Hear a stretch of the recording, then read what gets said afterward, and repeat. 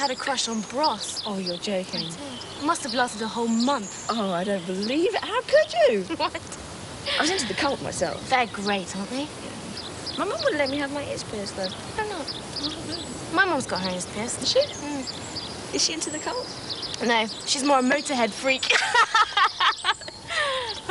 Want champagne? You sure? Yes. Mum won't bother us. She's got a Volvo full of jumble. And she's going around all the houses for some poor unsuspecting cause. And Dad takes hours and hours when he's on business.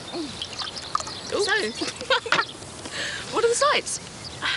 Well, this is the garden, Yeah. and that's the garden.